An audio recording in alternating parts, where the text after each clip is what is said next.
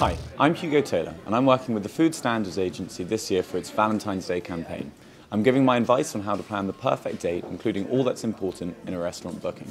Planning a date can be stressful, particularly if you want to impress. There's always a worry that the perfect night out might turn into a dating disaster.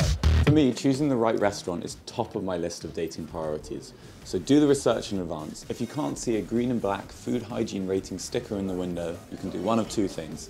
Ask the staff or go online. You can visit food.gov.uk forward slash ratings on your phone and find out straight away. So once you've checked the food hygiene rating, it's now on to the date. So my top tips are, first off, be assertive. If you're a man and you're booking a date, make sure you've told her in advance where you're going and you pick somewhere you think is fantastic.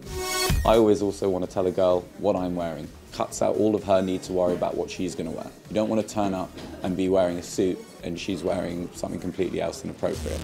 Second off, don't order anything that's messy. Last thing you want is all of your food covering the rest of your body.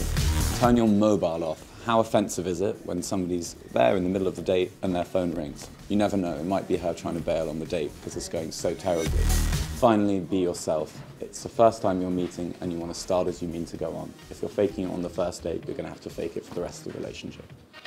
Let the Food Standard Agency know what you're planning for Valentine's Day by tweeting at FoodGov and using the hashtag LoveFHRS. Happy dating and happy Valentine's Day.